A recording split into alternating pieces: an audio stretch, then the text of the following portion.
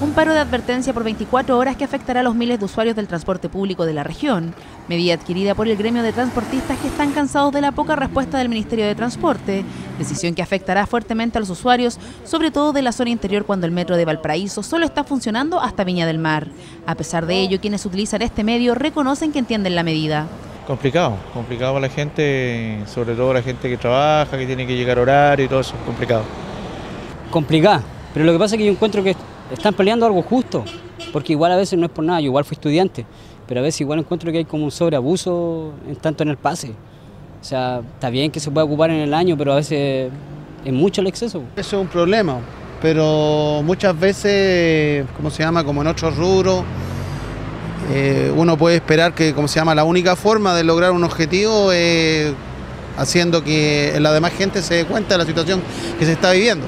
La paralización congregará cerca de 5.000 conductores en la región, donde los temas de conflicto que llevaron a esta decisión están relacionados con el uso de la tarjeta nacional estudiantil, conductores que piden en los buses validadores de TNE y compensación para los transportistas quienes movilizan a los alumnos los siete días de la semana. Es por eso que nosotros eh, eh, vamos eh, por estación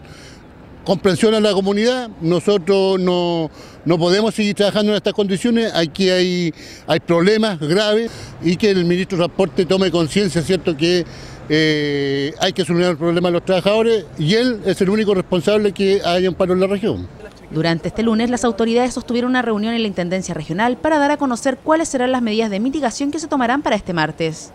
Y respecto al tema de los validadores, el ministerio también está avanzando, de hecho el ministerio va a financiar las, eh, los pilotos, las pruebas piloto que se van a hacer y estamos eh, viendo y escuchando a proveedores que están conversando con, los conductores y con empresarios para tener programas pilotos. Los tres temas que están planteando ellos son temas,